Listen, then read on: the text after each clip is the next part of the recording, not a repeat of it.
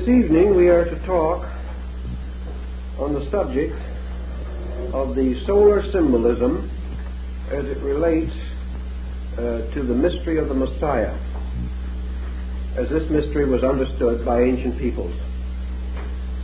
In order to get a little background for this theme, we want to go a little further in establishing our great system of astronomical symbolism.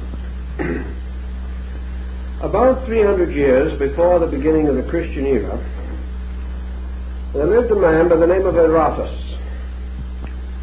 He came from the area of Soli, which is now Cilicia. And it was from this same region, region that St. Paul came. It may therefore be due to this and to the great esteem in which Aratus was held that he is considered today as the only non-Christian writer, non-Jewish writer, to be quoted in the New Testament. The quotation occurs in the 17th chapter of St. Paul. Paul is speaking in Athens at his famous sermon given by the altar of the unknown God. And he says, in addressing the Athenians, as your poets have said, referring to God, we are his offspring. This is from the fifth line of the phenomena of Aratus of Soli. Aratus was no astronomer, and yet, weirdly or strangely enough, we regard him today as one of the most important figures in the history of astronomical research. He was a physician, a man of letters, an outstanding poet, and spent uh, the second part of his life, second half, in the court of the king of Macedonia. The king was very much interested in the astronomical researches of a previous scholar who had left a number of verses and also considerable prose material under the general title, The Appearances. This title meant to imply the appearances of the heavens at different seasons and times. Aratus took the original notes and composed a magnificent poem of about 800 verses.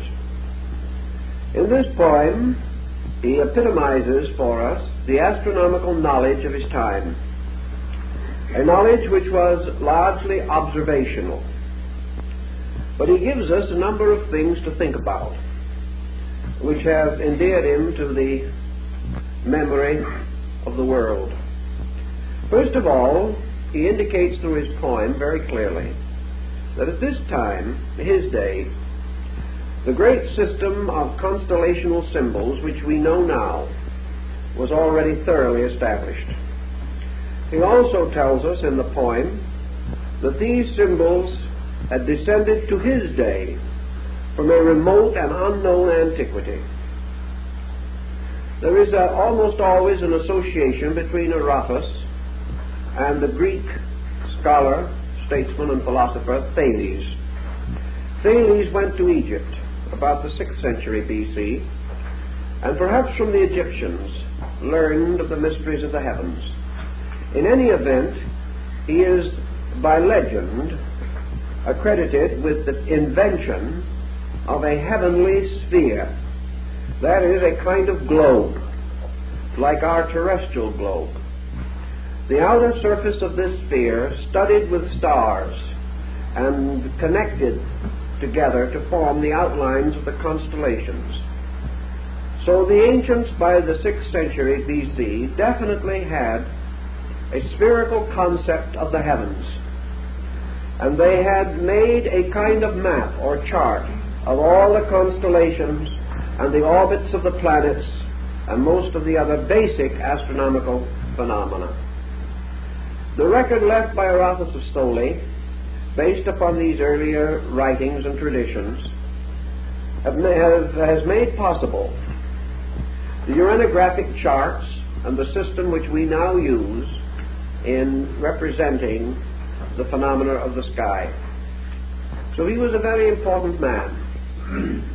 and he gave us in his poem a great number of legends showing the close association in the Greek mind, the Near Eastern mind in general, between these star groupings and the great systems of myths, legends, and fables, which have always formed a part of Greek culture. Uh, Aratus points out that in all probability the star groups were named for the exploits and for the uh, various deities and the various symbols with which they were associated. As, for example, the wonderful exploit of the Argonautic expedition was preserved in the heavens in the form of the constellation Argo, the ship. Now we also realize that in Greek myths, when a human being achieved a very heroic estate and became uh, more than human, he was in the end frequently picked up and carried into the sky to form a star or a constellation. Several mortals were so honored. This probably merely tells us uh, that the physical or human exploits of the person became part of the astronomical lore of the people. Therefore, when we point out certain parallels in symbolism between astronomy and religion, as has been rather clearly set forth by numbers of writers in their astrotheological dissertations, we do not mean to imply that our religion merely began as star worship. Rather, we mean to convey the idea that by degrees we bestowed upon the heavens certain concepts which arose within the human being himself. The heavens were like a vast mirror, sparkling with lights. And man, looking into this magic mirror of the sky, saw rising before his mental eye strange visions, wonderful symbolic patterns. And the more he meditated upon these, uh, the more he filled them in out of his own understanding, until the strange dark mystery of night became indeed a processional of wonderful figures, symbols, and devices. By degrees, man interpreted the lives of deities and of heroes in terms of the sidereal elements and factors. In his study of the heavens, man was immediately impressed by that powerful star which was for him the giver of life. That star is the sun. Men of old did not worship the sun. They represented it, however, as the most appropriate symbol of the eternal source of life and light, seeking for words which failed, for various devices which were inadequate, any means they could imagine by which they could honor the great giver of life. Ancient man could find no emblem more splendid, no symbol more appropriate, no device more essentially truthful than this blazing orb of day.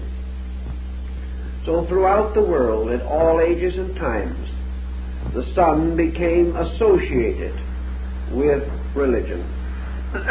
it was associated because, as the great Pharaoh Akhenaten, Amenhotep IV pointed out, that the sun is the nourisher, the life giver. It shines upon both the just and the unjust. It recognizes no difference in creed or color or race. It is not denied to one people and given to another.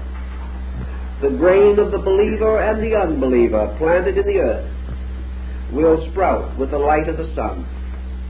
The sun, therefore, is a universal concept. It belongs to no time. It bears upon itself no strange limiting symbols belonging to one group of culture or another. It is the ever splendid orb of day. It is that which lift, lifted man from the terror of night. In ancient times, men were afraid of darkness. They huddled in their caves and huts through the long, dark hours of night, fearful of strange animals and of disasters which came to those who wandered about in darkness. But with the rising of the sun, the world of realities was once more revealed.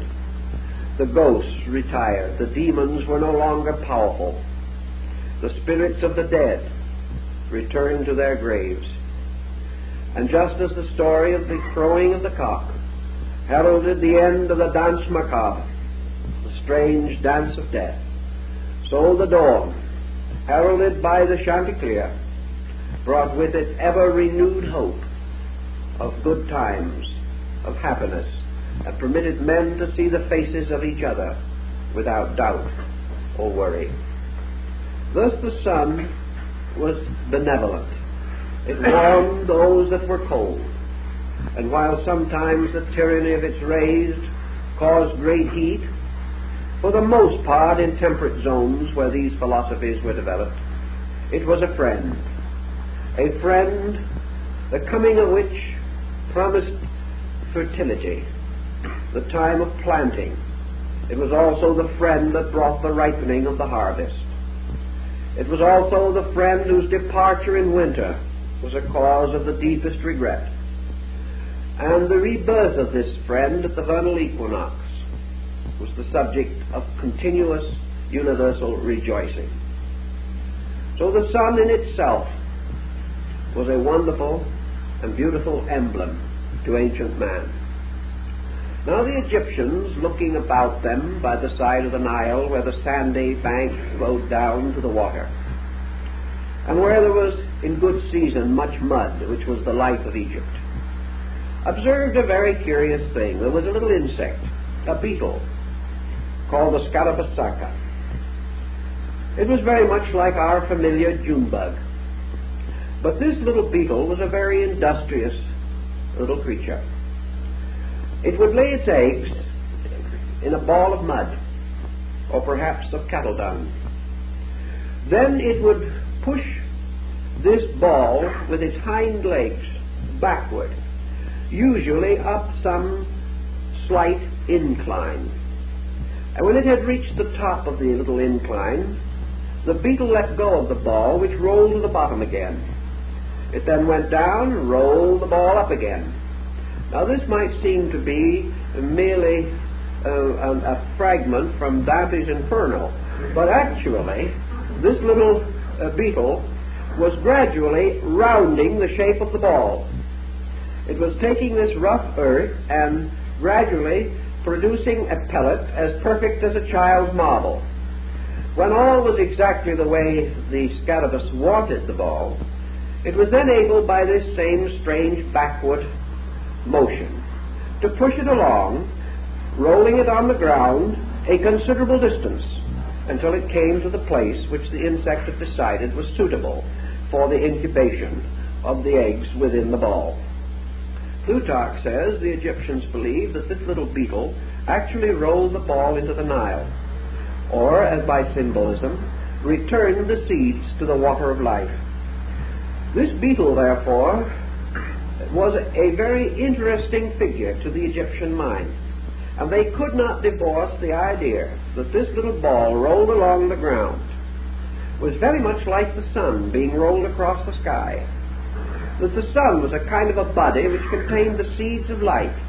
And these seeds were rolled up the hill from dawn till noon and rolled down the hill from noon to night. A great arc of the sky. The Scarabaeus, therefore, became known as Khepera.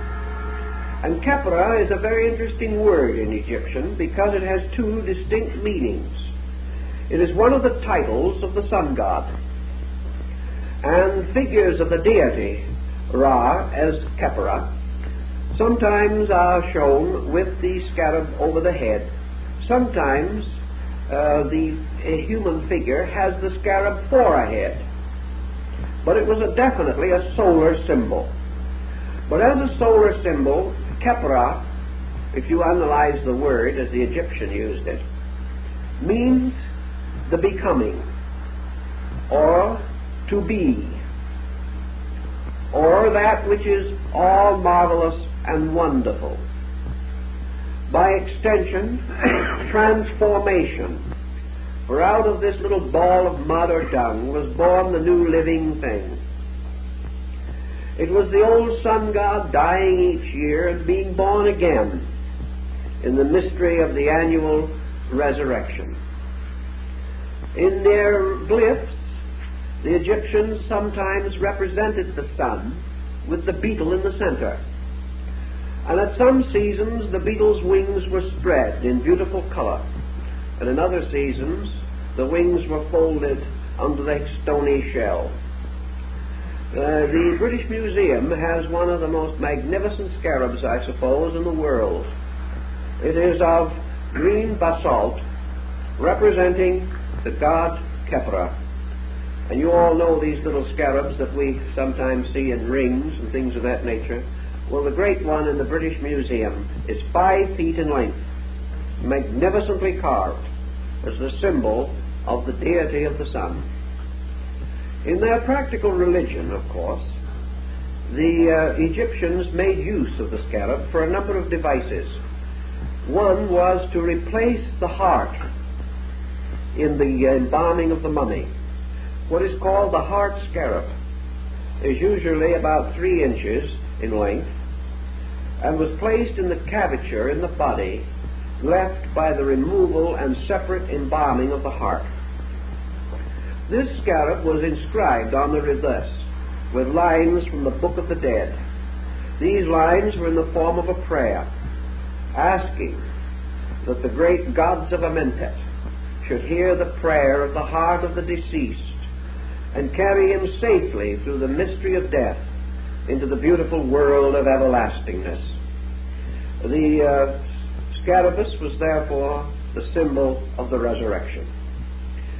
It uh, was a creature that seemed to belong to the earth, but it could spread its wings and fly off into the sky.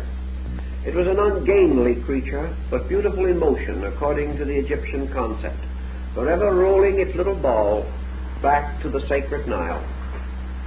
Thus, this became a very important solar emblem and the great ship of the sun is shown supported by the claws of Khepera, the scarab. And the pharaohs wore this device as the symbol of their spiritual and temporal authority.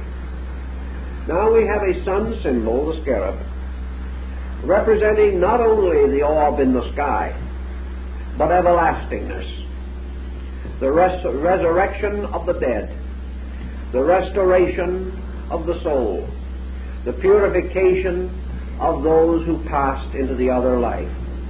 Therefore, the scarabaeus was hymned as the symbol of the God who preserves, the God who is ever mindful, the God who lifts all things from darkness into light.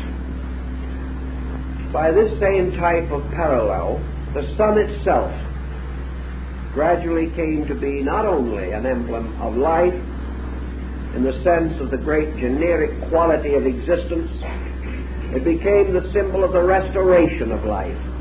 It became the symbol of hope, of the restoration of all things that were dark and mysterious.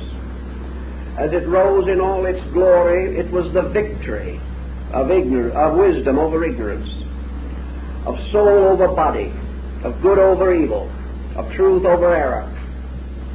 In fact, it was the symbol of the total resurrection of the perfect world, represented by and personified by the great God of the sun himself.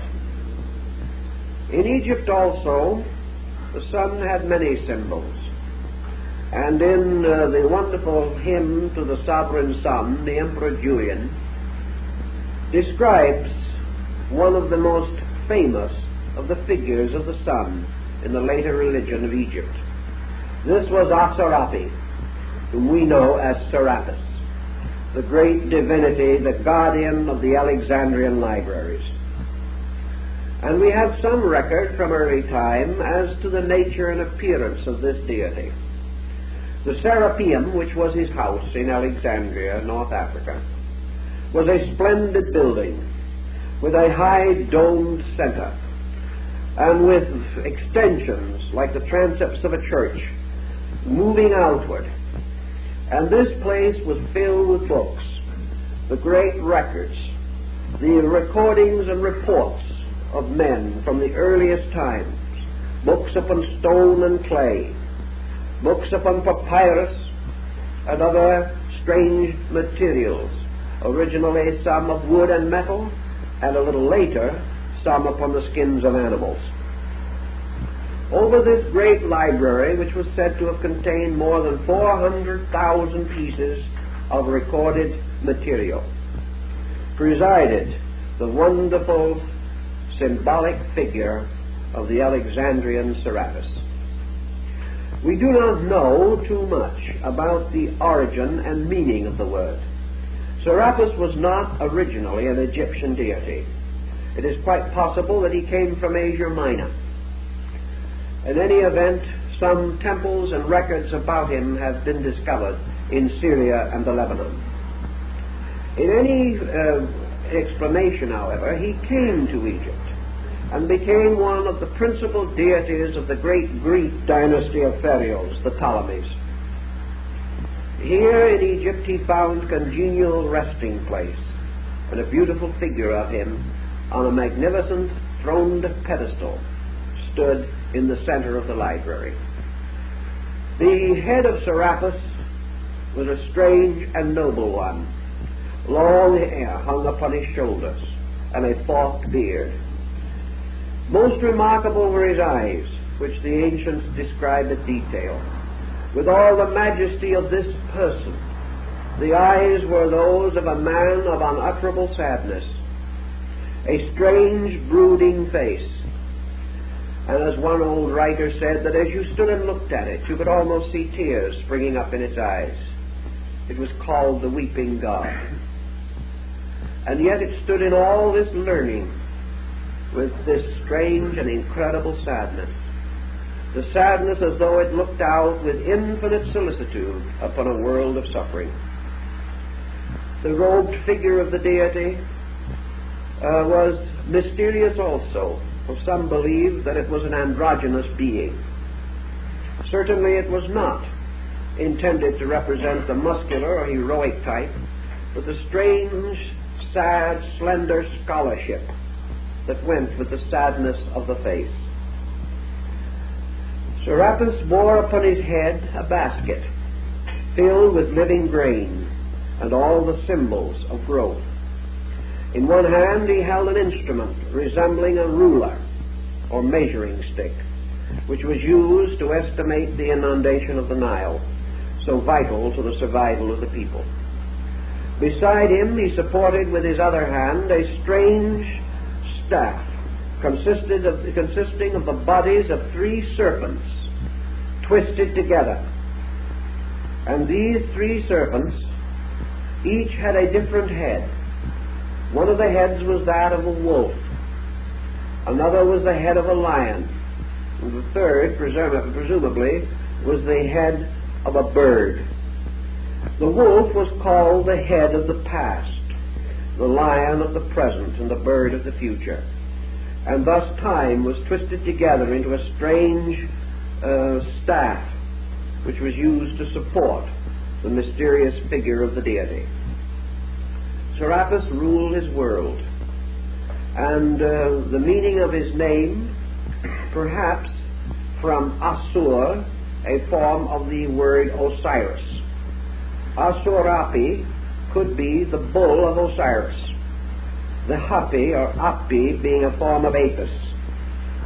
There is, however, another derivation, namely that it came from a word seraph, meaning to shine, the glorious.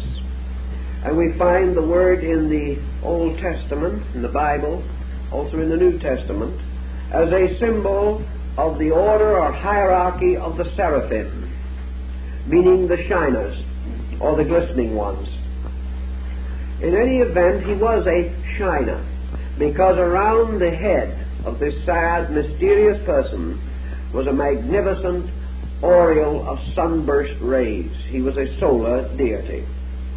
He was the sad, dying son of autumn, the sun who descends into the underworld and knows the experience of death. When the time came and the great library was sacked during the period of Theodosius, a mob broke into the Serapeum. For some time it remained, the mob remained at a distance, um, almost unable to approach the figure. They were frightened, they were awed by it. But mobs and panics have no respect for persons or for gods. And finally they attacked the statue, tore it down, demolished it, broke the pedestal upon which it stood, and finally burned the entire library. When the ashes were cold, and men began to search for the remnants and remains of their own vandalism, the uh, church historian Socrates, not the Greek philosopher, the church historian, says that under the pedestal of Serapis, when they excavated after the destruction of the building, was found the monogram of Christ. Well, this is peculiar because that pedestal stood there and was placed there long before the beginning of the Christian era. But in any event, uh, that Serapis was a solar divinity, we know. That this divinity was also regarded with some favor by the early Christians, we also know. For we are told by Clement of Alexandria, the ante Nicene father, that when the bishops of the, of the church went to Alexandria, they held their services first in the temple of Serapis and afterwards in the church of the Christian sect. This deity, therefore, is another strange and wonderful link with the great mystery of the solar God. We cannot attempt a long and detailed study of all the solar divinities, but in every instance, we find in the faiths of men the emergence of what Carlyle calls the hero myth. Now, the hero myth comes in so many forms, from the most classical and abstract uh, to the most common. Under the veiling of a story like Little Red Riding Hood is the old hero myth. For the wolf in Red Riding Hood is also the same wolf that was on the serpent staff of Serapis, an ancient symbol, a symbol of the devouring by darkness. For the wolf lurked in the night. It lurks in the night of the past, and many a man has been devoured by his own past. It is a ravishing wolf in the conscience and in the souls of men just as we are also destroyed and broken by our history in many instances, for we can never escape the limitations imposed by authority and tradition, which are also powers of the wolf. In the same uh, classical grouping, however, we go through Grimm's fairy tales, we go through the legends and stories collected and preserved by Hans Christian Andersen, and we go back to the great classic myths. Here we find the story of St. George of Cappadocia fighting the dragon. This is Apollo slaying Python, another form of the solar myth. For it is always the solar hero who must destroy the dragon of darkness, must uh, save man uh, from the sins and evils of existence. The solar myth also gives us Samson, whose strength was in the locks of his hair, especially in seven locks. And these seven locks, of course, are found in the Gnostic philosophy, where the seven rays of the great leontocephalic lion, the rays of the nimbus, end with the symbols of the vowels and also with the signs of planets. So the seven locks of hair are the seven planets, which distribute or are related to the mystery of the strength of the sun god. Samson, of course, is a very thinly veiled reference to the sun. Hercules, likewise, performing his twelve wonders, was a solar hero. And in a little different way, but no less important, we have Achilles and the strange legend of his mysterious death. We also find in the Nordic rites the Sigurd saga, Siegfried or Sigurd becoming the solar hero.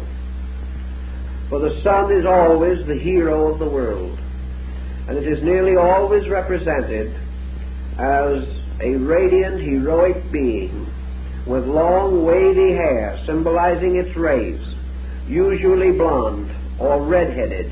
Moses is said to have had red hair. This strange, reddish, golden light, the symbol of the mane of the royal lion of the sun, the lions that decorated the throne of Solomon, the lion of the tribe of Judah, the mysterious royal family of the lion of the Shakya family in India, which gave rise in due course to the birth of Buddha. The lion is another great sun symbol. The exaltation of the lion represents the sun entering the sign of Leo, at which time it tames, captures, or slays the celestial lion, dressing itself in the skin of the lion, and then presents itself as the hero to mankind the skin of the lion being, of course, the 30 degrees of the constellation of Leo, where the sun is enthroned. Thus these symbols go on and on. But during the course of time, the symbolism changed to a measure because of the shifting pattern of human belief. In China, the Yellow Emperor walks the golden road of the zodiacal band. He is the same hero and practically every dynasty of the world traces itself back to a sun god, like the Rajputs of India, who regard themselves as descendants of Surya, the god of the sun, in his wonderful chariot drawn by the four-headed horse. These four heads, again, of the horse are interesting because they represent the four yugas, or divisions of time, which are measured by the march of the sun. Chrysostom, the great saint of the Eastern Church, declares that the motions of time are represented by the horses drawing the chariot of the sun god. Always these emblems return, but you have to realize that in ancient times, man did not know of sin as we think of it today. Man did not live in a world in which uh, there was the concept of personal responsibility for evil. In the first place, man knew very little about good and evil. He found only comfort and discomfort, life and death. Gradually he evolved to a point in which he began to worship gods and godlings and to populate the firmament with mysterious spiritual beings. When he did this, he still did not have any concept of personal evil. He did not believe that the gods were punishing him directly for the things that he did, not in the early time. He believed that the gods ruled their world in their own way. Men were not too important in the life of gods. The gods created a beautiful world. Man could do with it as he willed. And if he willed to do badly, that was his own fault. The gods upon their Olympian heights gazed down untouched and unmoved by the acts of men. Then one of the earliest of the solar heroes, Prometheus, was introduced. And Prometheus stole a spark of the celestial light of the sun and hiding it in a hollow reed, brought it down to mankind. And the gods, because he had broken their covenant and their will, punished Prometheus and bound him and chained him to a rocky crag of Mount Caucasus and placed a vulture to gnaw upon his liver. And Prometheus, the friend of man who brought the sun into the life of man, was one of the earliest of the sun's soul figures. For after his strange and wonderful sacrifice, the gods could no longer destroy men at their pleasure, because the spark of the divine fire which he had brought now blazed within each human soul. and man had achieved immortality by disobedience. It's a very interesting legend and a very powerful psychological theme. Prometheus, therefore, is one of the soul men who sacrifices himself for the good of the world. The story of the sun, as we said, can be traced in your Nordic rites in the Kalevala of Finland and in the wonderful massive stone carvings of Central America, Yucatan, and also in the paintings and glyphs of the North American Indians. Always this wonderful theme has to do with the life giver, the life bestower. Osiris in the Egyptian ritual was sometimes represented as a mummified body lying upon the lion like couch of death, and all over his body grain was sprouting. He was therefore a symbol of life coming forth from death. Uh, the mummification of the Egyptian dead was a comparatively late introduction. That is, it came only after the great cultural system of Egypt had reached considerable height. The very earliest remains of the Egyptians were not mummified, but were buried in the earth in the neat chest or embryo posture in a circular hole or grave. This was to symbolize the fact that death was another, was another birth. To live is to die, to die is to be born. The Egyptians therefore represented death as a kind of birth into another world. And they represented this also in their solar mystery. They realized that the sun sank at night, but the sun did not die, although the earth became dark.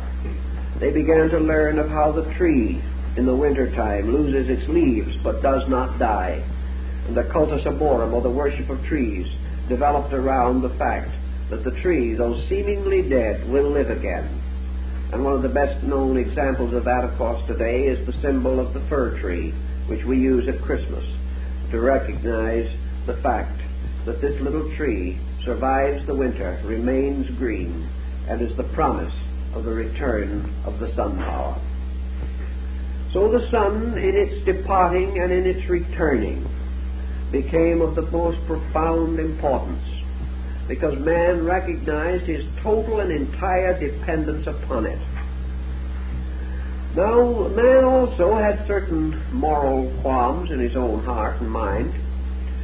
And he began to realize that the sun deity, or the sun principle, the life principle, was in a strange way an unselfish benefactor of all things. Akhenaten and other great Egyptians, including Amenhotep, uh, realized that in a strange way man needed the sun, but that the sun did not need man. Some way the coming of this great orb of light was for the good of man or for the good of nature, not really for the aggrandizement of itself. It was therefore a sort of unselfish benefactor. It needing nothing of itself, gave all of itself. Having nothing that man could do to make the sun better, the sun still did everything for man. Man could never repay. He could never do anything except perhaps offer his prayer and offer his uh, consecration to the works of the sun. The sun did not need him. And this brings us to a problem that is of some interest perhaps in modern thinking. Because today we are very much concerned over the effort to find adequate definitions for deity or for the nature of first cause, and we argue back and forth as to whether or not God is a person, a principle, a being, an essence, a substance, or merely a continuance of eternal mechanistic principles in the universe. And nearly every title that men have given to the sun, other men have questioned and doubted. And wherever the solar deity has been venerated under one name, this name has come to be hated or loathed by persons of other beliefs. It's a very strange thing. But let us realize one point here that may be helpful. That in antiquity, in the days when the great appellations were given to the sun, nobody thought of them as definitions. no one was really trying to tell what the sun was, nor what the power was that was behind the sun. No one was standing in audacity to define deity. All of these terms, if you go back to their roots and meanings, are simply statements of praise. They are individuals bestowing upon the mystery the most wonderful words of honor and of veneration that they could conceive. It was no effort to define, it was simply that man bestowed every title that was good or beautiful or noble upon this supreme symbol of his own existence. Also, man, early in his experimenting in thought and philosophy, sensed that there was within his own nature a kind of life that was derived in some way from the life of the total universe. So he, as the Egyptian did, used the uh, scarab or the symbol of Khepera, the sun, as an emblem for his heart. If the sun had a, a, place in the life of man, that place was in the heart, which was the source of man's life, and strangely more than his mind, the source of his light. For man's great light comes not from his thought, but from his love. And in realizing this, the individual who had experienced the mystery of the love of God was a light within himself, a strangely illumined being, and in his life this great symbol of radiance flowed from him. And so the heart became the sun emblem. And the heart has long been represented as the source of man's spiritual continuance. Uh, when the deceased priestess princess Anufa entered into the presence of the great gods of Amentet in the Egyptian ritual of the dead, she came forth into the great court, forming with her upraised arms the symbol of the Ka, by means of which she said, I am a soul.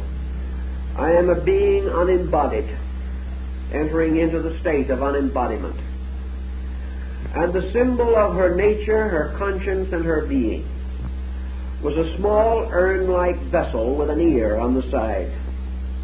And this vessel was the heart. And it was from the heart uh, that the lady Anufa spoke when she answered the questions of the great God and the jurors. And it was her heart that was weighed on the scale of the balance against the symbol of eternal truth. The Egyptians had already decided, beyond any question, that if the glorious light of space existed in man, or had a home or abode in man, it was in the adytum of his temple, in the inner part, which was his own heart. And Hermes, in his essay or discourse to his son Tatian, says that the divine power placed the heart in man like the pyramid in Egypt. And the pyramid also, a fire-light symbol, was a representation of the heart as the symbol of the solar mystery. Now, way back through all these centuries of descent, this overtone, this concept lingered. But as we say, men changed their thinking. And in the course of time, there arose a doctrine of sin. And sin in this case was separation. Sin created only one situation, namely that creatures who sinned were regarded as separating themselves from the good God. Thus, by fall or relapse or by departure, spiritually, morally, or physically, from the code, man created an interval between himself and the good. He was no longer able to see the God that walked with him in the garden in the cool of the evening. He lived in another kind of world, a world surrounded by his own kind of creature but the mysterious upper world, the world of light, was closed to his eyes. He felt himself an exile, a strange kind of orphaned creature wandering the earth in darkness. And to meet this mystery and to solve the secret of it, the ancients devised their tremendous culture of mystery rituals. These were the sacred dramas and sacred ceremonies which were undertaken by those who desired to journey back into the light of the God. Always, therefore, in the Holy of Holies, or the sanctum sanctorum of the house, in the deepest part of the temple, was a sun symbol of some kind. A symbol of life, a symbol of power. One of the earliest of these sun symbols was the cross because, as Plato points out, the Logos, or the creating power, impressed itself in the form of a cross at the time when it first uh, began the building of worlds. It impressed itself upon creation in the great signature or seal of the cross. Thus, in the temples, we find these symbols symbols of the attainment of man who must journey home. This journey home was through the darkness of ignorance through testing and trial, and finally the ascent into the lighted sanctuary where surrounded by the priests and uh, those who had already attained, the candidate was invested with the great solar emblems, the emblems of his own regeneration and restoration. It was then also that he was given the little white stone, upon the inner surface of which was inscribed his mystery name, for he was born again. He had come into the light of truth. The old systems of the mysteries extended probably from 2500 to 3000 BC down almost to the beginning of the Christian era. And then we have what Voltaire refers to in his description of the Samothracian rites the mystery of a brother who was slain by his brethren. And we find in the old mystery rituals the solar emblem, the candidate representing the sun god, passing through a terrible tragedy. A tragedy of betrayal, of assault, of murder, of martyrdom. We find this solar emblem brought forth as a lamb to the slaughter. We find it betrayed we look back over the history of the world and we begin to understand something of this betrayal. In many of these systems or symbolisms, the betrayal was the result of the action of three persons who were determined to destroy the solar emblem or to usurp the power of heaven. Consider therefore now that the sun god, Khepra or Serapis, ruled over the great sanctuary of wisdom. For in the great library of the Serapeum were the talking stones that told the history of the world. Here were the records of ancient times and of the achievements of men, the dreams and hopes that were old even 2,500 years ago. Therefore, Serapis was the symbol, in a sense, of the records of man's progress passed on as a priceless heritage from one generation to another. The record of man's struggle, his uprising out of darkness, and his coming forth by day out of the night of ignorance. And in this sense, the sun deity finally becomes the actual symbol of truth, becomes the figure of a reality which is the total of essential knowledge. It is therefore quite understandable how the decline and corruption of the mysteries could be considered as an assault upon the body of a god.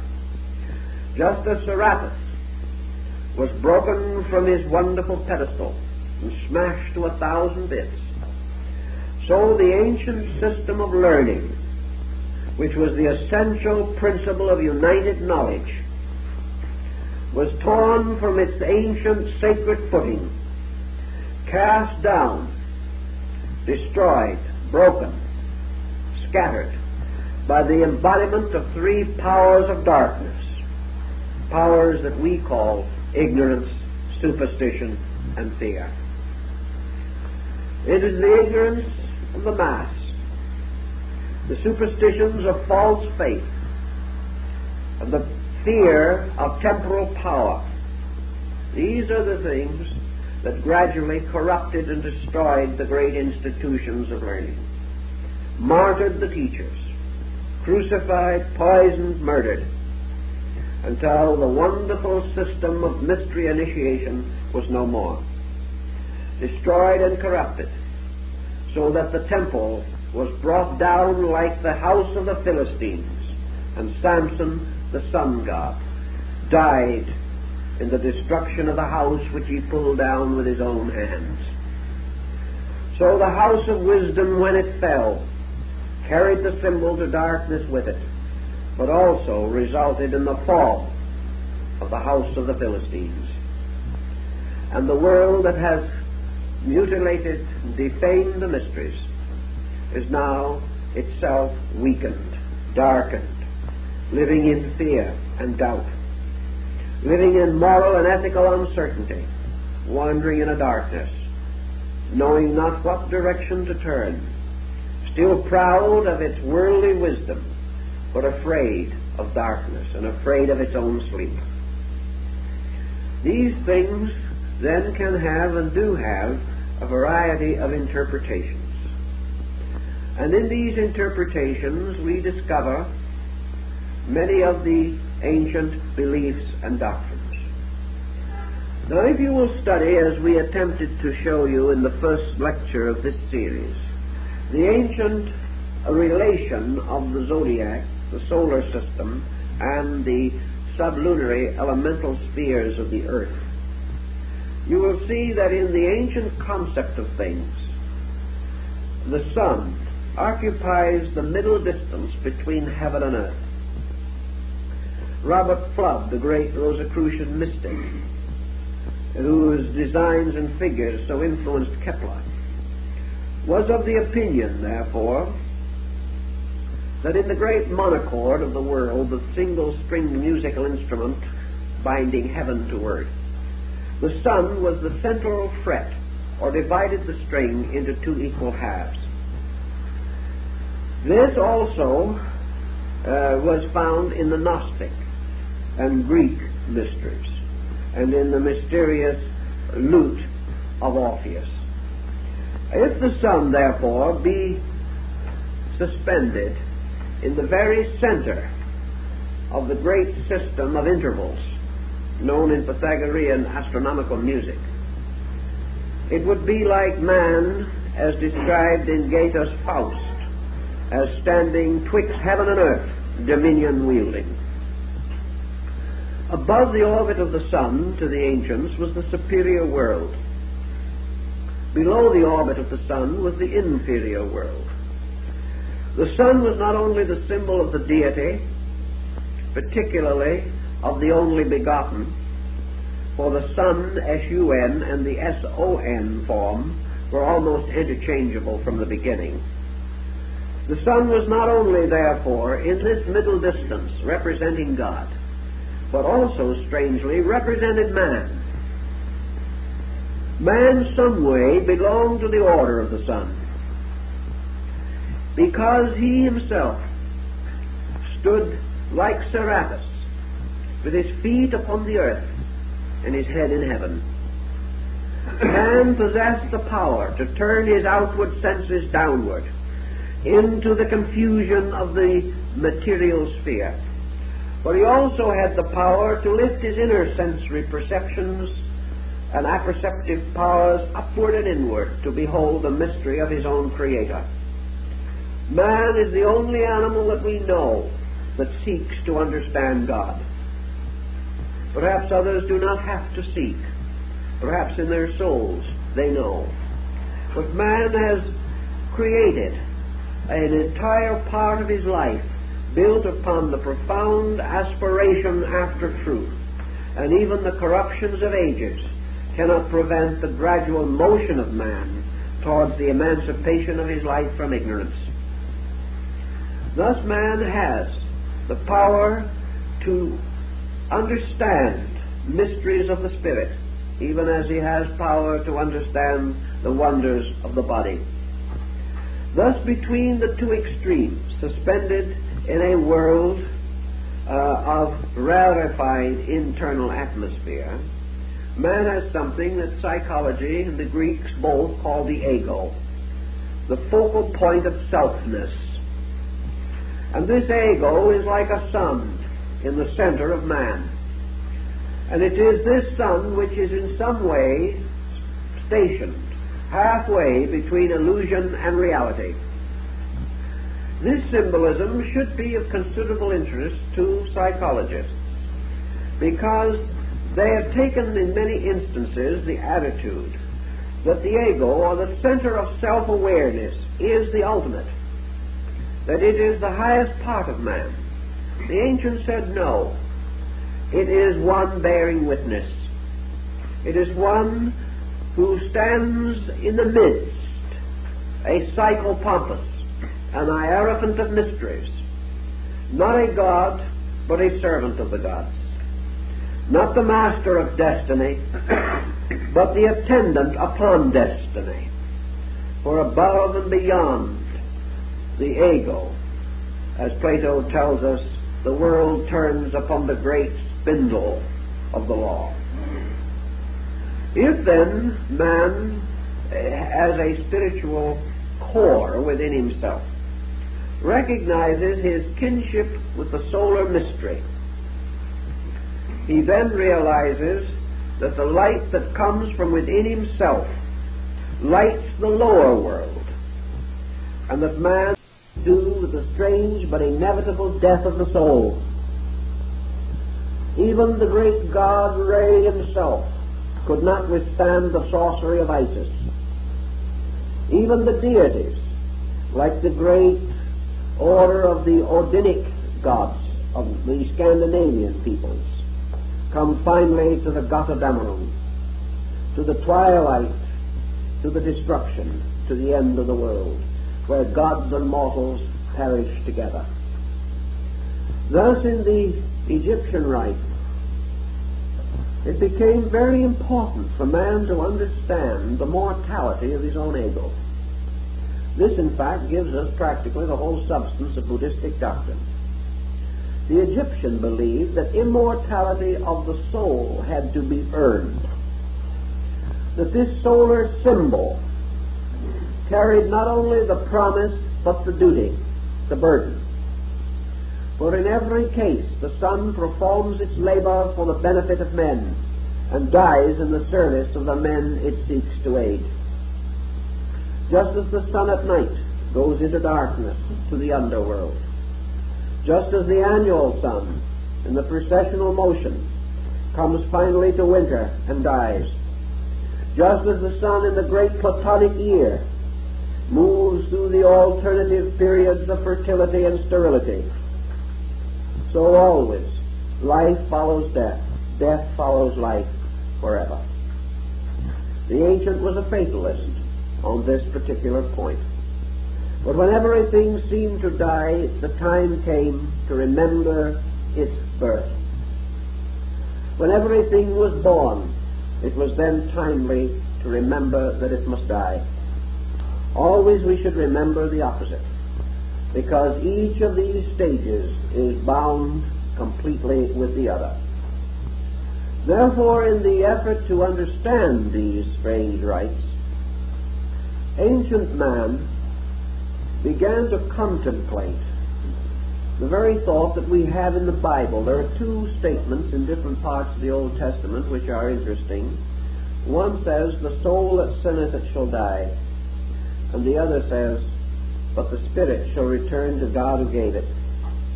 Therefore, the soul and the spirit are not the same thing. The soul is the splendid light of the revealed sun. The soul in man is the witness to the Father. The soul in man speaks through Osiris, another solar mystery god and it speaks through Horus, the only begotten of Osiris. And the God tells us that when we look upon the sun, we have seen the Father which is behind the sun.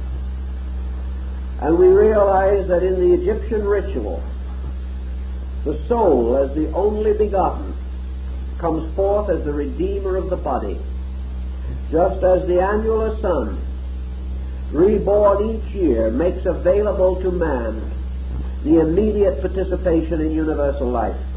The Egyptian was fully aware that all the life in space did not come from our sun. He also was aware of the fact that the sun as we see it was not the source of life. It was merely the one who comes forth, the witness. It is the voice crying in the wilderness, prepare the way of the Lord. So the sun becomes the symbol of the evangelist, the manifestor, the witness.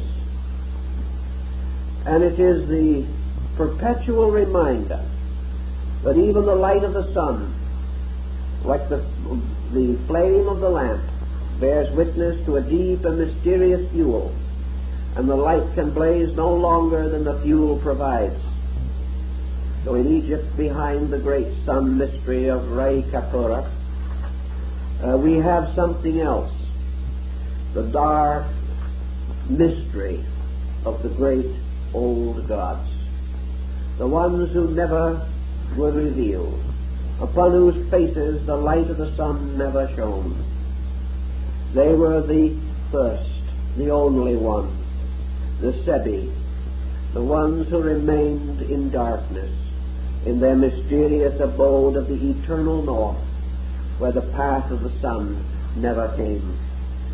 And these dark gods were the gods of space and eternity and this space and eternity remote and wonderful, eternal and unconditioned, continued on its way through all duration until from out of the darkness of this profundity burst forth the symbolic symbol or the symbolic form of the solar mystery.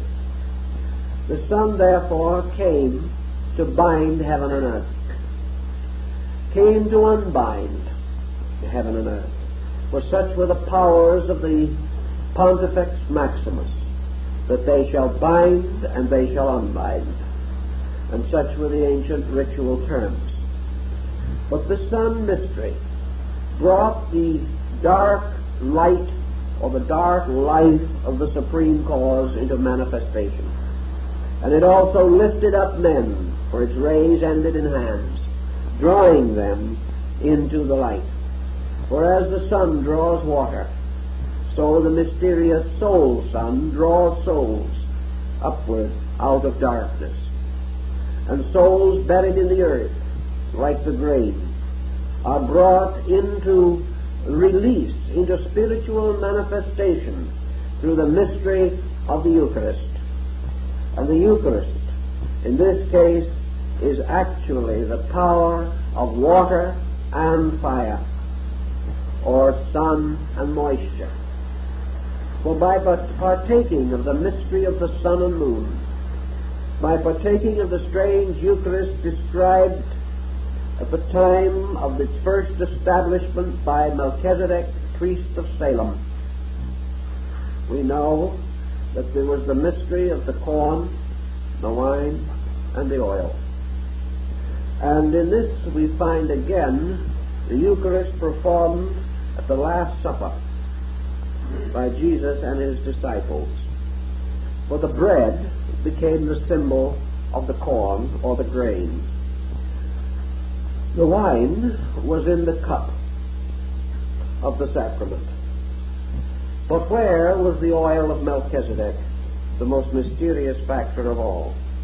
in the completion of the Eucharist at the Last Supper, the oil was Christ, because the word oil is in Greek Christos. It is the symbol of the anointing. Therefore, when Christ is referred to as the anointed, it is because of the use. We have the same word in Crisco, our now present cooking shortening for oil. It comes from the same root. So Christ is the oil the bread and the wine were provided. And the ancient ritual of Melchizedek was repeated, which causes St. Paul to refer to the Messiah as a priest forever after the order of Melchizedek. As the Scarabaeus sacer was said to be its own father and its own mother, being an androgynous beetle, so we find this strange priestly solar mystery also represented as totally and completely androgynous, like the deity Serapis in the ancient temple. Now the Messiah, or the Anointing One, gives us also another dimension of the solar mystery, because the rays of the sun work the miracles.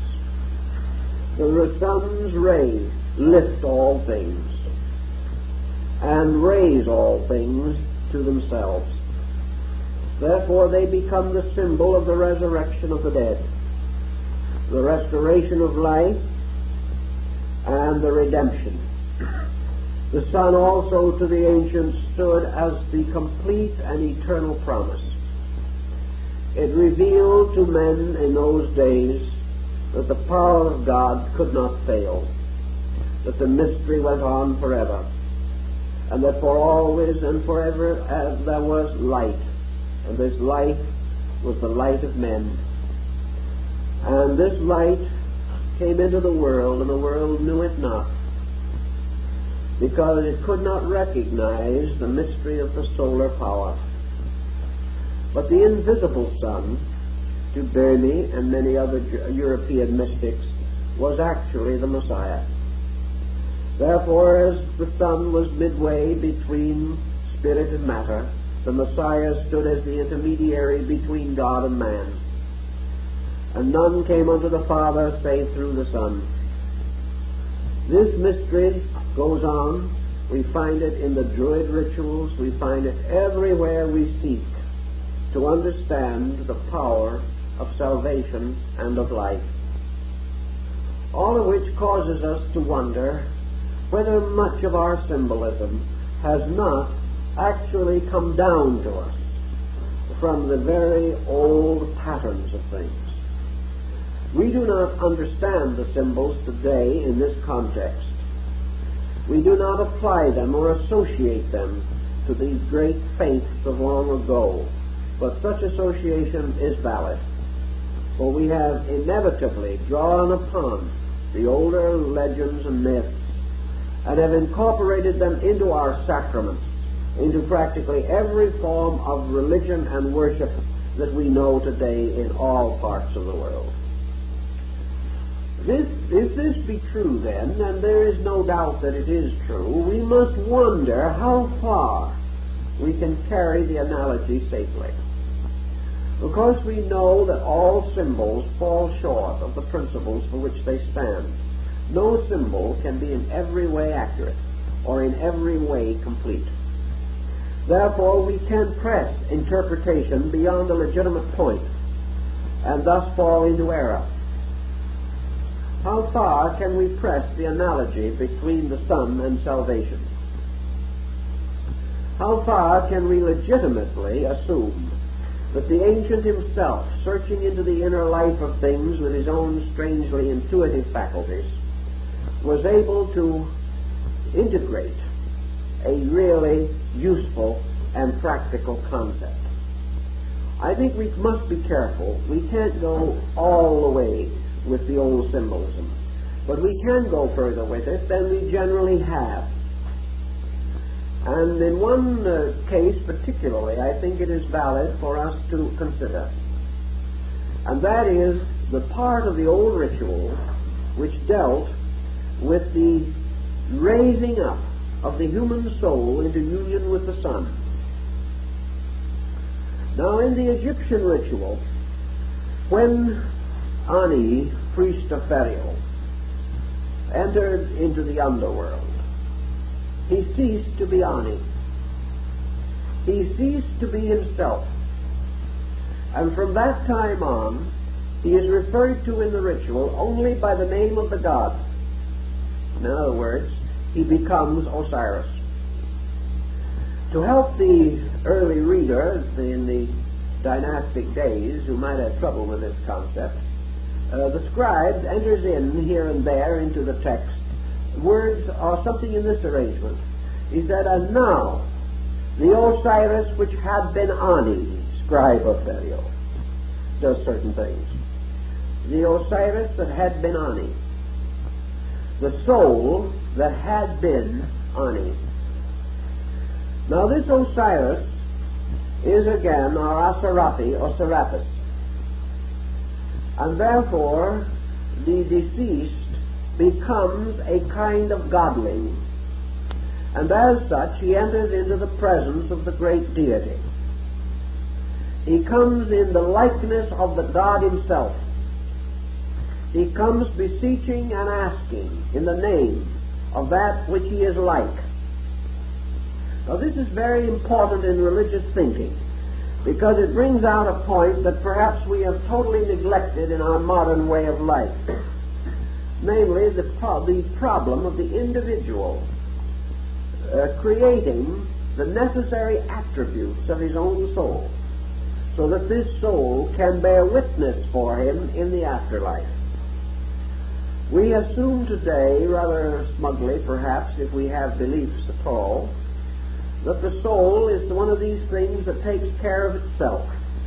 If it has been good enough, it will have a fortunate hereafter.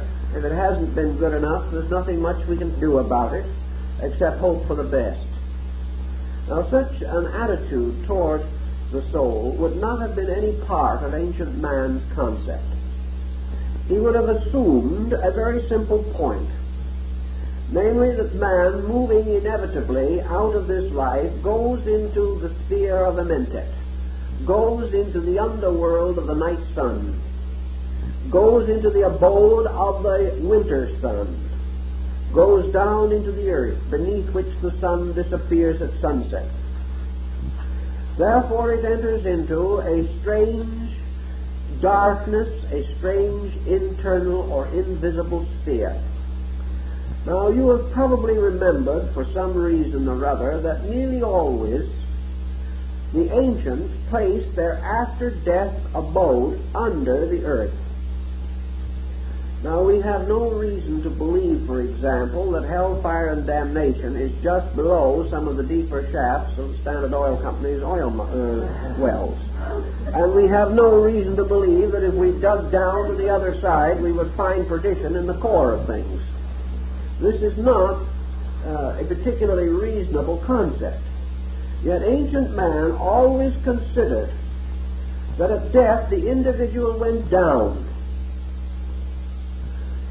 that he left surface and went toward center, in this case of the earth.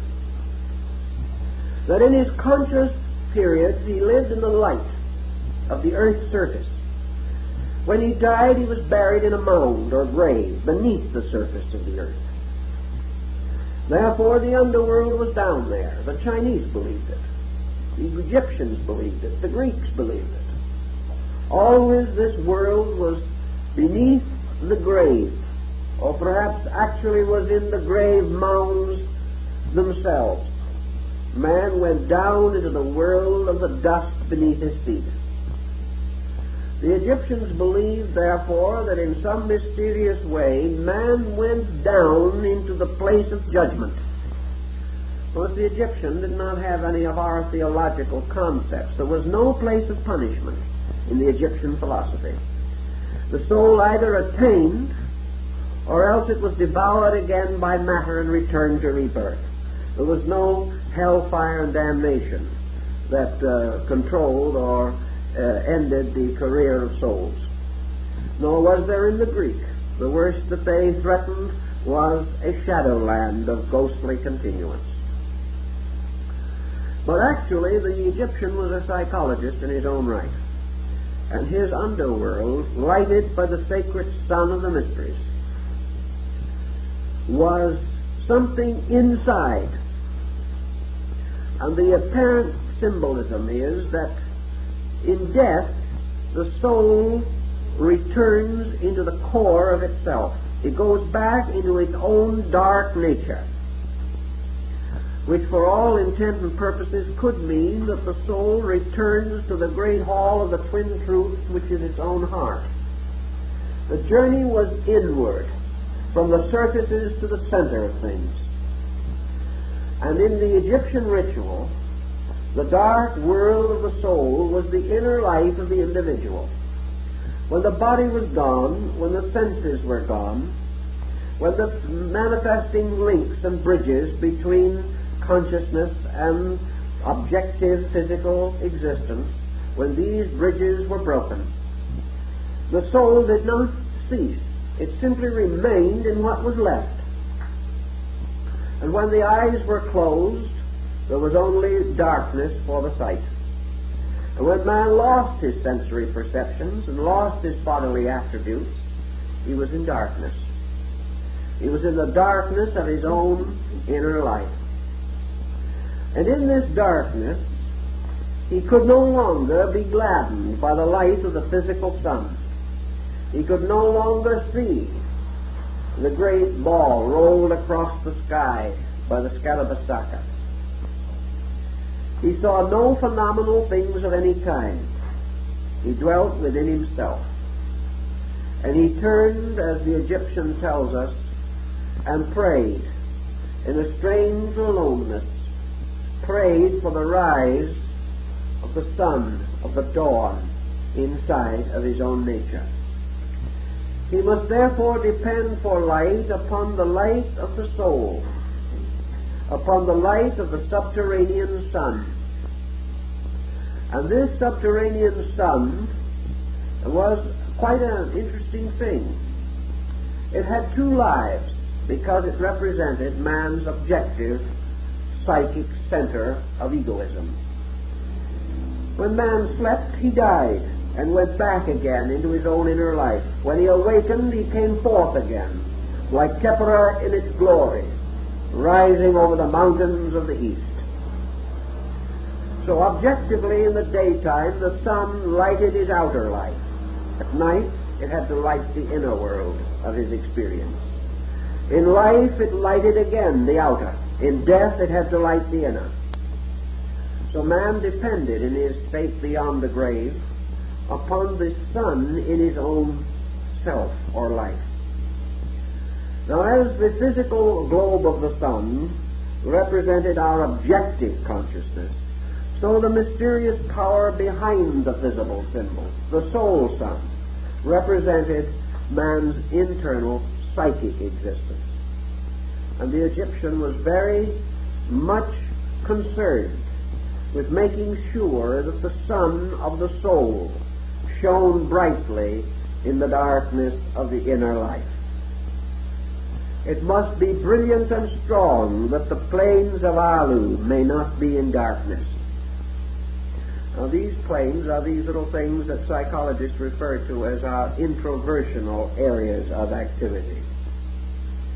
The individual extroverts in life, in death he introverts. In life he pours forth out of himself. In death he returns again to live with himself. To live with the qualities and principles and attributes which are peculiarly his own. And there he comes upon the God of the mysteries. For if he explores the underworld and is faithful and moves through this labyrinth of mysterious tests and trials, he comes finally to the sanctuary, to that temple which is the house of hidden places, ruled over by the master of the secret house. And here he comes into the presence of the midnight sun, the internal sun. He sees then within his consciousness a sun blazing in the firmament. And according to the Egyptian, he has a strange experience. For just as surely as materially and physically, when he opens his eyes, he sees a vast world around him so psychically and mystically. When within his own nature he opens his eyes, he sees a vast universe within him that extends as far and as wonderful as the world around us seems to be. And in this inner mystery, there comes the rising of the sun in glory. And the Egyptian represented this in the state of the blessed soul in contemplation, seated quietly in adoration of the great gods. the soul suddenly sees the dawn of the disk of the sun, and Khepra suddenly opens its wings, filling the sky with iridescent light. This is the soul of the mysteries, which the ancients considered as the messianic sun. This is the sun in the soul, which is for the salvation of men. And this sun in the soul has to be earned, it has to be made possible. For when it comes, when it rises, it bestows immortality. For as the ritual of Egypt says, there can be no death when the sun in its risings bestoweth its light. So immortality is the rising of the sun of the soul, or the messianic sun in man. If therefore we remember the, the remarks made by Paracelsus, which we've discussed in a previous series, he said there were three suns one that lighted the body, one that lighted the soul, and one that lighted the spirit. This would be in conformity with the old mysteries, and he probably learned this in Constantinople. In any event, the soul sun is the Messiah which is for the salvation of the nations. It is the sun of the soul rising over the body. For the final victory to the Egyptians was not the victory of good over evil. This was important, but this was covered more or less by the great negative confession of faith, in which the virtues of the deceased were clearly enumerated. It was not the victory of even light over darkness. It was the victory of life over death. It was the total victory in the consciousness of man. It was the entry of the soul into the awareness of the everlastingness. It was man suddenly knowing by the rising of the dawn light of aurora knowing his own immortality, knowing his own eternity, and dedicating himself to the service of the greater in the presence of the lesser. Thus, the Khepra in his rising really brings the light of internal truth to man. And illumination, as it is termed in mysticism, or cosmic consciousness, was known to the Egyptians as, of course, the rising of Khepra, or the great Scarabaeus, over the horizon. For it was the blaze of light that lighted not merely the outer forms of things, but the inner structure of them, so that their bodies were full of light. And that this light and this life was the assurance of eternal continuance. To achieve this end, therefore, the individual had to uh, not only make his peace with the gods that rule the world, he had not only to give unto Caesar the things that are Caesar's, he had also to make his offering to the sun in its rising. And among the old manuscripts, uh, one uh, papyrus to the Queen Mother of one of the ancient Pharaohs is, is very beautiful because we learn from it so much of the philosophy of these people, something that we know so little about, unfortunately. And we learn from these fragments uh, the tremendous challenge of man seeking the path of light in his own soul. Not merely just doing good, but the strange state of being good not only performing all the different rituals and rites that are indicated by our laws, our customs, and our traditions, but more than this, the searching after the experience of the rising of the sun. That in some way, while we live, we must have some free awareness of this coming of the great light of the world. For this coming of the great light is the restoration of the martyred God. And it is brought about by the dedication of man to the experience of the light seeker. The orders of the quest in medieval chivalry emphasize this older philosophy very clearly. So always the point throughout life was that the Egyptian, even while he lived, was ever mindful, waiting, hoping for the coming or rising of the inner sun. And he knew the rising of this sun by various ways, most important perhaps being that it brought with it the light of peace. The rising of the Sun of Truth inside of man is always marked uh, by the increase of internal awareness of value. Man gradually finds that this daybreak, this auroral dawn, as Boehme calls it, ends the strivings and the stress. It ends also the shocks that flesh is heir to. For it is the coming of warmth, of life, of generation, of all good things within the soul of man. Just as man lives physically like his savage forebears, no longer in physical darkness, because this darkness is now riddled with light, but in a state of internal darkness. Man lives in an everlasting night of doubt, burdened from day to day with problems and responsibilities. He finds the path of life not happy, nor can he guard and govern well the values that he has.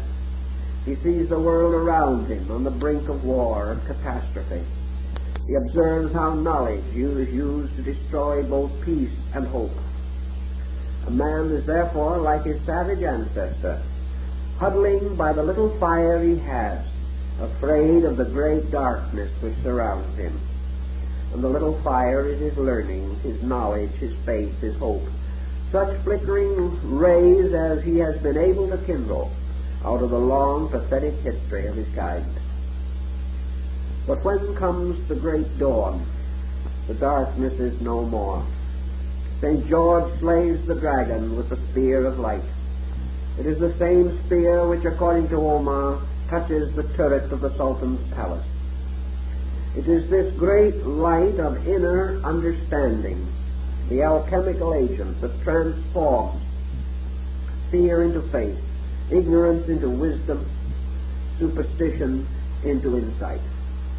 These things man has to accomplish by the rising of Khepera in its glory, the restoration of the sun god within the strange mystery of his own life. To make this more seemingly understandable, the place of the sun in the zodiac and its journey through the years, its labors, uh, were all carefully studied and analyzed to get the analogies that would help to strengthen the doctrine. Man born into this world dies from the world of light. And therefore, this is the entrance to the dark world of the mysteries. In the ancient zodiac, the Egyptians used the symbol of the scarabaeus, where we now use the crab as a sign of Cancer. In all probabilities, the scarab is the correct form and the crab is a more or less compromised uh, form, perhaps due uh, to the corruption of ancient designs or the transference of the symbolism to some area where the scarabaeus was not significant. In any event, the crab is the symbol, or was the symbol, and the scarabaeus of the summer solstice. And the summer solstice, of course, was the point of the greatest heat and light of the sun. Therefore, the sun took upon itself at that time in the precession of the equinoxes the body of Khepera, and the sun became the scarab in its glory. Now, man, according to the ancient philosophies, in the Mithraic rituals, and of course Mithras is another solar deity, who overcoming the vernal equinox in Taurus slew the bull and bathed itself in the blood of the bull and became uh, strengthened or became the hero as a result. This was also an astronomical mythos. Perhaps it is this Mithraic rite of the slaying of the bull and the bathing in the blood of it that was the origin of the red shoes of Julius Caesar. For it is said that before Caesar could go into the temple of the deity and act as Pontifex Maximus, or high priest, he first had to rush home and put on his red shoes. Without his red shoes, he could not enter the temple. The red shoes probably came from the feet of the priests who were present at the slaughter of the bull, and therefore whose feet were reddened with the blood of sacrifice. By the time of Caesar, this practice was not carried on, but the red shoes lingered, like a great many other symbols. And wherever red occurs in vestments of clergy, it represents or is related to sacrifice or to martyrdom. The sacrifice of the bull or the sacrifice of Mithras, who was also among the martyred gods. In any event, the birth of man in the sign of the Cancer or the Scarabaeus was the beginning of the great journey of the sun. Now the sun carried on two journeys simultaneously. The first journey was its arch across the sky in the mystery of the year. During this journey, it passed from the sign of Cancer, which was the summer solstice, to the great autumnal equinox in the sign of Libra, and here the scales were set up, and the great weighing of the psychostasia took place. Here was the dividing point in which life and death had to be decided. And the solar being going on courageously beyond the point of the autumnal equinox was set upon by the three fall months, representing in some instances uh, the murderers or destroyers of the hero, or the circumstances of this destruction. And of course, Scorpio, which was the first of these months, betrays the Master with the kiss in the Garden of Gethsemane. The continual ritual finally goes on till the winter solstice, which is ruled over by the symbol of death. And death here standing with its scythe and hourglass is the reaper of all things. And here at the winter solstice, the great sun god dies. He is betrayed. He is carried to the great place of the skull, which is called Golgotha. And here upon Calvarius, which is a naked skull, the cross presumably was erected. And here the sun god uh, is crucified over the body and remains of Adam, the primordial being. Now, at the winter solstice, the sun seems to stand still for three days. The old astronomers were unable to estimate any motion of the solar body for three days. Thus, at the winter solstice, it is said that the sun goes in or descends into the underworld and remains dead for three days. It therefore passes, in the terms of its energy, into the abode of the dead, or into the abode of souls. And there it remains for a certain period. It also remains in a strange processional, for in the sacred rite, the body of the dead sun god was carried in a procession a procession which bore it from the winter solstice to the vernal equinox. A procession of three days, three degrees, three months, according to the different symbols that are associated with the various faiths. Here again, the mystery of the three days is restored. For at the equinox also, the sun is not observed to move for three days. And at the end of these three days, at the actual moment of the equinox, the sun is reborn, rising as Khepera in its glory, promising the return of fertility after the long darkness of winter, in which the sun sleepeth, and all men rest, and the earth is without uh, light or nutrition. It is the problem of the long night in which life returns to the other world. After the vernal equinox, the sun marches in its splendor. It overcomes the ram. It it rises above the power of the bull Apis. It comes under the power of the uh, Dioscuri, Castor and Pollux, and again reaches its magnificent arch enthronement in the sign of the scarab. Now the Egyptians say that there was a mysticism to this. They pointed out even in those ancient days that when men die, they often, most usually, die in the night. And that when they die in the night, they most often die in that part of the night which just precedes the dawn. This is an old legend or an old fable. It is not necessarily universal, but the ancients believed that there was a certain tendency to a pattern here. They therefore further believed that in the so-called night part of the 24 hours of the day, or the night half of the 12 months of the year, the sun, by its mysteries, changed its vibratory pole. And therefore, while it is winter or darkness in the outer world, the sun becomes the particular illuminator of the inner life of things. Therefore, as man's objective concerns are advanced most rapidly in the period from the vernal equinox to the autumnal equinox, the diminishing of the physical sun is attended by the increase of the sun of the mystery, and therefore that man's internal life is strengthened most during the period when his material energies are least exalted.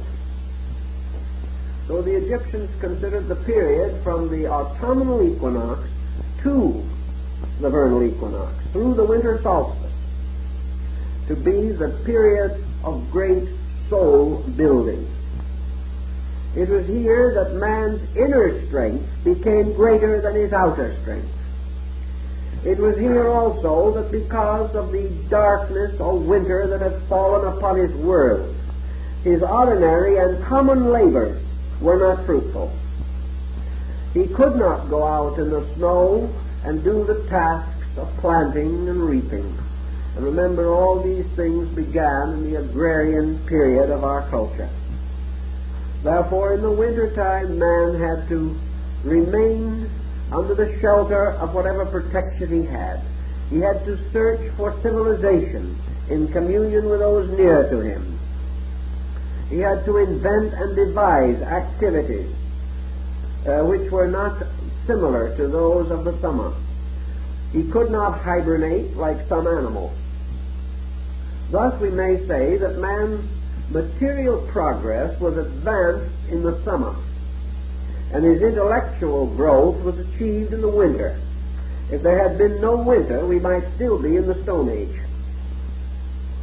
Because the winter was the time which men had to fill with an activity that was not material. Here was the time when they had to develop their cultures, their insights, their literary attainments, their artistry, and all the various forms of genius uh, which were made possible uh, because of the strange additional leisure which they had. If they provided themselves as well as they could during the good season and had put away the tithing of the 10% for the next year's seed, they then had security through the winter months. And this security was man's first leisure. And this leisure was the beginning of man's civilization. So in the long winter months, men grew as soul beings, or had the opportunity to so improve themselves. The Egyptians went further than this, however, by analogy. They insisted that there was actually a difference in the spiritual vibration and energy of the sun, by which the psychic life of man was most rapidly advanced at this time. That therefore man inwardly grew the dark inner nature of him received the light of the sun that was taken from his body. His material life grew less, his spiritual contact grew greater. Therefore, the greatest and most important event in the entire spiritual cycle of the sun mystery was reserved for the winter solstice, the midst of winter. For it was at the winter solstice, in the darkness of man's own first internal neurotic existence, that the messianic mystery was born. It was in the midst of the darkness of his own inner life that the first rays of the sun of the messianic dispensation, the soter of the gnosis, was first heralded, and the three winter signs as three wise men came to pay homage to the crib of the child. All of these point out that in the darkness of man's spiritual winter, the sun of the soul cast its greatest light. This was perfectly in conformity with the Egyptian ritual, and with also many of the teachings of the Greeks, Hindus, and Chinese. Thus we have something that perhaps uh, is a little startling at first, but not as much so as you might imagine. For we have a strange belief in our daily living that through certain sorrows or through certain tribulations, the spiritual powers of man are quickened. But man never seeks light as much as when his darkness is the most difficult and dangerous. In this, therefore, we have the proper inducement. And if it be true, as the Egyptians said, that the sun's rays change their quality in the winter, so that they are attuned to the heart and soul focus rather than to the body focus that in the winter the rays of the sun pierce through matter, but do not quicken it, and enter into the psychic life of things. That in the winter half of the year, so to say, or the uh, descending half or arc, all inner things are strengthened.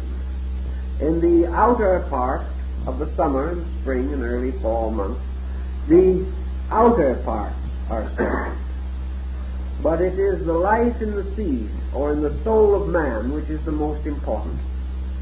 So the sun in our winter shines into the inner part of our lives, rising in glory over the great fields of Amentet.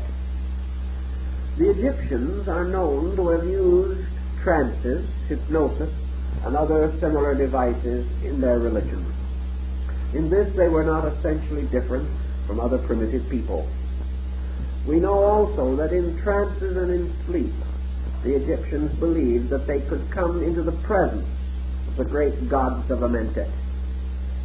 Therefore, that in this sleep of death, in this trance, man had an experience of inner life. Always initiation and death were used as parallel symbolisms. And the individual internalizing, searching for value, must seek for this internal sun which shines in the darkness, but is not known by the darkness. If then, during this same season of the annual motion of the sun, from the autumnal equinox to the vernal equinox through the winter solstice, this sun is shining in Amentet. It means that the god has not died. It is not that the god is dead, it merely appears to be dead because it sleepeth. Now, this God actually does not sleep in its own nature. When Osiris died, he did not merely rest in the mastaba of the tomb. He went forth into another lower region and there ruled over the quick and the dead. In the same way, the soul of man in sleep does not merely lie down in darkness, it moves into another world where it is lighted by another sun. In the same way, man searching for value, passing through the ceremonies of the mystery ritual, is moving into another world which is lighted by the sun of the soul. And it is this ever coming sun which is the promise. Is this is the true light that lighteth every man who cometh into the world for it is the light within himself. And this light is strengthened more in that time when material things are less favored. So the Egyptians actually believed that when the sun went to sleep for outward things, it burst into glory inside of man. And that when it sat in the west, it rose in the east of man's heart. And when it rose in the east of the earth, it sat in the west of man's heart. For man's outer works were works of the light of day, but the inner mystery of his soul was were works of the light of night, not the darkness of night. For there was no darkness, except man's own ignorance of light. And each day, the sun rising was like his own consciousness. For when he, when he woke in the morning, the sun rose through his eyes and through his sensory perceptions, and he saw the day. But when he went to sleep at night, the sun seemed to set, and he saw no more of the day. But the moment he was asleep, the Egyptians believed that he went into the world of another dawn. And here, within himself, the light continued to shine. I think Buddhism has much the same concept, but it points out the mysterious curtain which conceals the ship of the sun. That when it goes down over the mountains at, of the west, man no longer sees light. But man who has become inwardly wise is able to experience light, like Apuleius, who initiated into the mysteries, stood upon the threshold of Persephone, the underworld, and declared that he beheld the sun shining beneath his feet under the earth. And so the sun of the inner world shines in the night. And this sun is our own psychic entity, our own psychic life. And it gains its strength from the sun. And just as the seed in the ground is quickened by the water and by the ray of the sun, so the seed in the soul the seed of the tree of life and of the tree of the knowledge of good and evil. These seeds are quickened by the Eucharist of the fire and water of the sun. The Egyptian made much of this theology, and he declared that it could be set upon the great astronomical form and would reveal to us the deeper meaning of many of the common and familiar symbols, devices, and ideas with which we are concerned today. Now our time is up, and uh, I think it's time for you to all commune with the sun in your own soul in the quietude of rest.